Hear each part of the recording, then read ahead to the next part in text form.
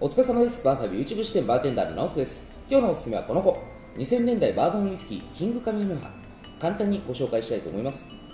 この子はふわっとしたバニラ香やミルクチョコレートのような柔らかい甘さを感じ取ることができるのですが渋みというのもこの子の特徴の一つかもしれません当時のヘブンヒル原酒らしいスタンダードな味わいではありますがこの子6年熟成ですが結構ライトに感じると思いますこの子はストレートやロックで楽しむよりもソーダ割りや水割りで楽しんでいただきたい子です。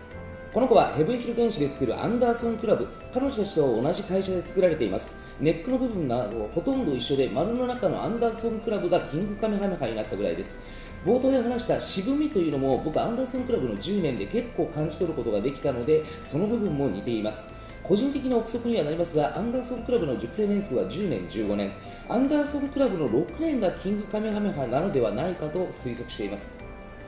アンダーソンクラブというバーボンウイスキーはやたらと日本に玉数があり10年15年であってもそこまでクオリティは高くないかなというイメージのバーボンウイスキーですが歴史という部分を見るとあやふやなところがかなり多くありヘブンヒル原子だよというところしか分かりません。しかし1970年代には6年をリリースしていました。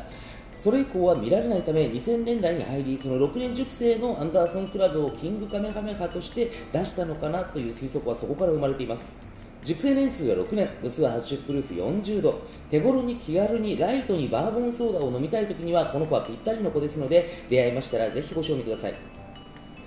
いかがでございましょう？簡単ではございましたが、バーボンウイスキーキングカメハメハ6年、お分かりいただけましたでしょうか？最後に僕は2年間で YouTube にウイスキーの辞書を作ります。応援くださる方はぜひ高評価、そしてチャンネル登録、どうぞよろしくお願いいたします。